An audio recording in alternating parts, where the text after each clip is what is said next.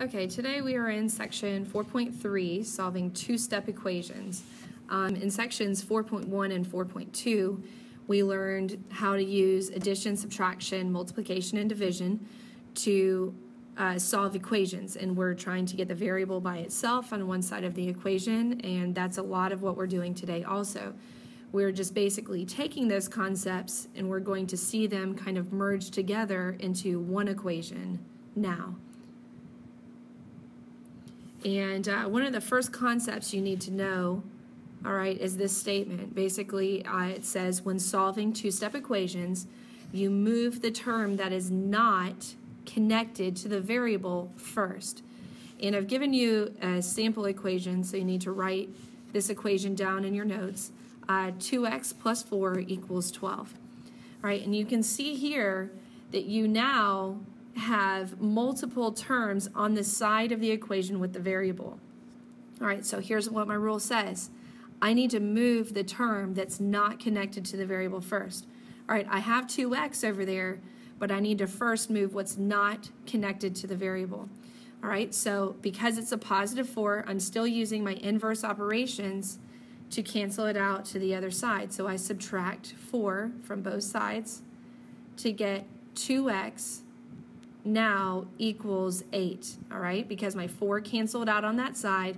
All I'm left now uh, with now is my 2x, and I bring that down, and I rewrite my equation, all right? So now I just look at, okay, what connection is now connected to my variable, and that's multiplication. So I need to do, again, inverse operations and divide both sides by 2, and I get to my answer, x equals 4 all right? And we check it the same way that we checked one-step equations.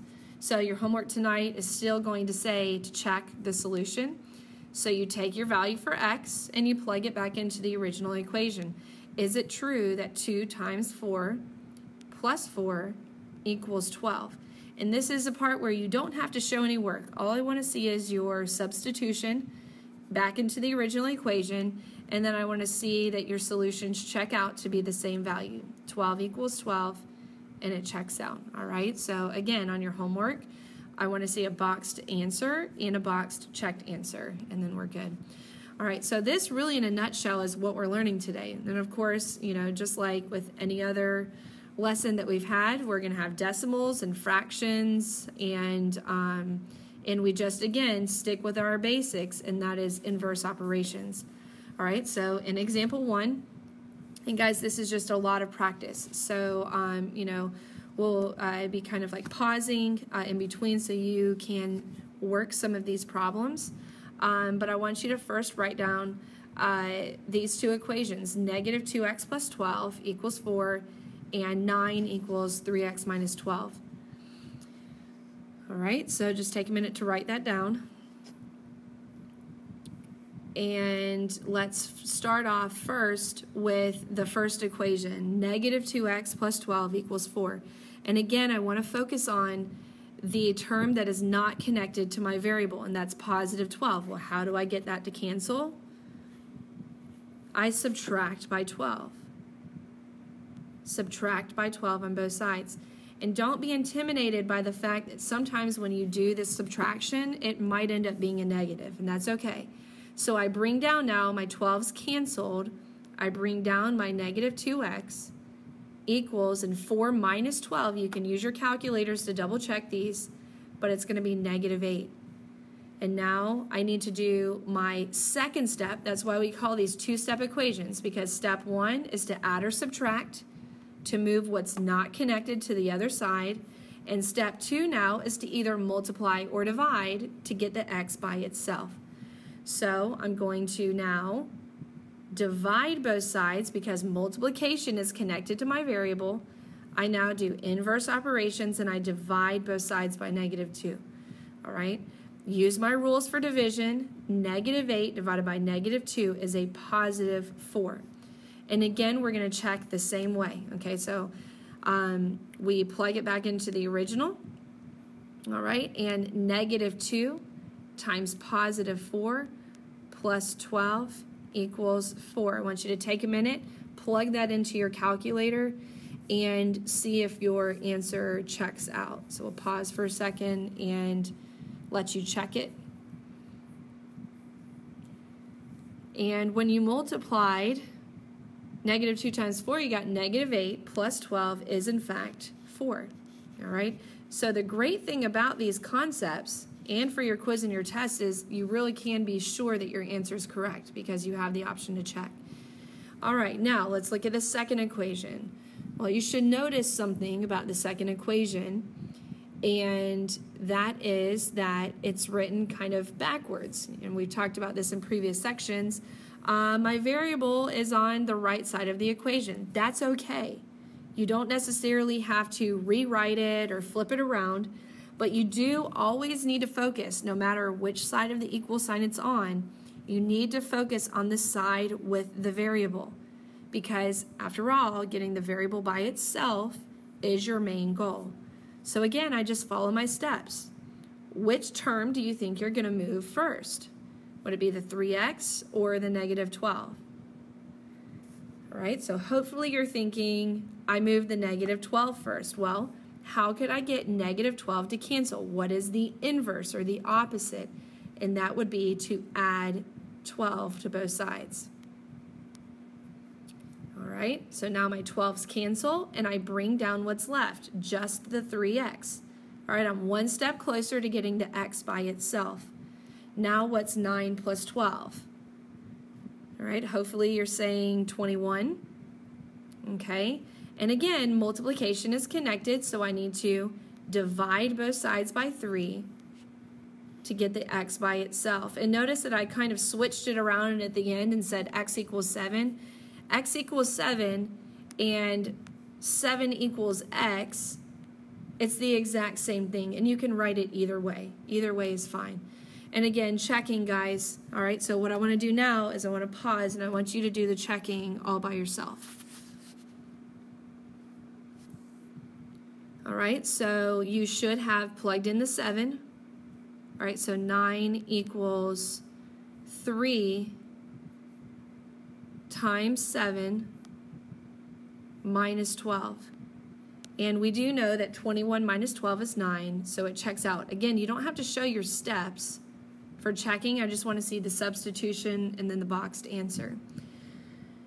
Okay, so that's example one. Um, in example two, what do you see a ton of? okay, and you should definitely be saying fractions. I see a lot of fractions. And uh, when we have fractions here, we have one of two choices. Okay, we can find the LCD um, and uh, work with the LCD, or we can use a method called clearing fractions. All right, so um, I did have a little typo, so you probably are seeing now that I just changed the first equation. Um, so I need you to write this equation down. I apologize if you started uh, writing it already, but I need you to go ahead and write this new equation. And notice that there was no variable in there. My first fraction was wrong. All right, so x over 8 minus 1 half equals negative 7 over 2. And what you notice about these equations is there's not just one fraction, there's multiple fractions. And so instead of going through the hassle of finding your LCD and still having to deal with fractions, what we're going to do is we are still going to find the LCD, meaning the smallest number that all of my denominators can go into. And we're going to, you know, keep this relatively simple. So don't worry about your LCD being some huge number. All right, but here's what we do. We choose the largest of the fractions, okay? And we see, okay, it's ideal if the other fractions are also, you know, can be um, are factors of that number. And in this case, it is. So my LCD would be 8. But if it's not, then I would just go up to the next multiple of 8, 16, and I would keep going up until I found an LCD. All right, and we'll do more of that in the second one that we're solving. So for this one, 8 is my LCD. So I'm going to multiply each fraction in my equation by 8. All right, so I multiply the first fraction by 8, I multiply negative 1 half by 8 and negative 7 over 2 by 8. Again, I find my LCD and I multiply each term in the equation by that number. All right, so on the first one, my 8's cross reduced to a 1, and all I have left is a 6. On the second one, and again, guys, you can use your calculators. It's totally fine. But negative 1 half times 8 would be negative 4. And negative 7 over 2 times 8 would be negative 28. Okay? And now I'm back to, uh, really in this case, it's just a one-step equation, all right? Where, again, I'm just solving for x now, so I need to add 4 to both sides and x equals negative 24. And again, guys, it's the same thing over again. You can substitute it back into the original problem, and you have negative 24 over 8 minus 1 half should equal negative 7 over 2. All right, so take a minute to work that out and see if it equals. And when you put that in your calculator, it's always nice when that works out negative 7 over 2 does equal negative 7 over 2. So I know for sure that my answer is correct. All right, checks out. All right, let's look at the second one. Okay, I want you to take a minute to write down the equation and try to figure out what your LCD is. Again, we do this by listing the multiples of the largest denominator. Okay, so 6 is our denominator. Okay, that's the largest. Well, do all the numbers go into 6? Well, 2 does, but 4 does not. So 6 is not my LCD. So now I have to go to my next multiple of 6, which is 12. Does 4 go into 12? Yes. 6 goes into 12, and so does 2. So now I've found my LCD, and I'm going to multiply each term in the equation by 12. Guys, and make sure this subtraction sign doesn't get lost, okay? That belongs with 5 6. That's the sign in front of the fraction.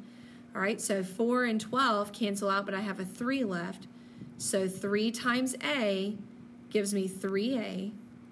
All right, 6 and 12 reduces to 2. And again, guys, you can use your calculators and just multiply negative 5 over 6 times 12. But if we're doing it by hand, that would equal negative 10 all right, equals 2 and 12 cross reduced to a 6, and 1 times 6 is 6. And now I'm ready to solve my two-step equation. I first must move the number that is not connected, okay, add 10, and 3a equals 16. Divide both sides by uh, 3, Okay, and 16 divided by 3 uh, does give me a repeating decimal, and that's okay. All right, A equals 5.3 repeating. So if you end up with a repeating decimal in your answer, it's okay. Sometimes it just works out that way. Uh, when you plug it back into check, you could just put in 5.333, you know, a couple times. And again, you're just plugging it back in. 5.3 repeating divided by uh, 4 minus 5 sixths uh, equals 1 half. And now let's check. So because of the repeating decimal, I got like 0.49 and some decimals.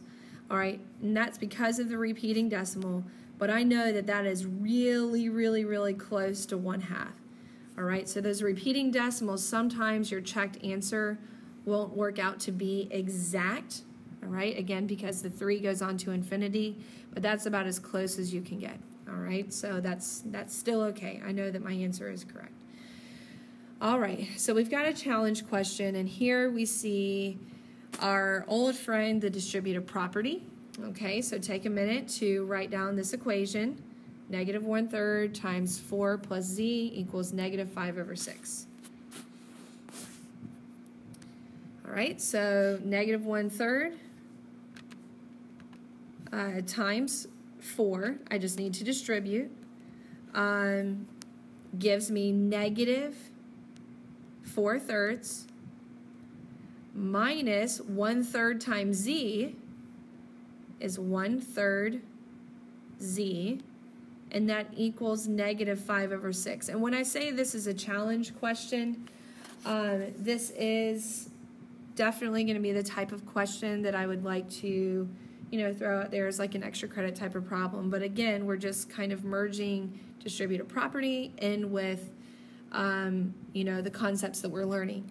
All right, so again, I see a lot of fractions. So what do you think you're going to do to get rid of these fractions? We learned this in the last example. All right, if you said multiply everything by 6, you're exactly right. Okay, so I need to multiply negative 4 thirds times 6, negative 1 third z times 6, and negative 5 6 times 6. And when I do that, again, um, all I'm doing is just multiplying them out. I get negative 8, all right, negative 2z, and negative 5. Again, just multiplying each fraction times 6, and you can use your calculators to check. Add 8 to both sides. This is not going to work out to be a whole number, but that's okay. Equals 3. All right, and at this point, hopefully you're getting in the habit where you can automatically see that I'm dividing both sides by negative 2. And z is going to be 1 and a half. All right, so that's about as challenging as it's going to get for you. All right, um, but that's where we see some of that distributive property and clearing fractions. Okay, example three. We are almost done. Hang in there.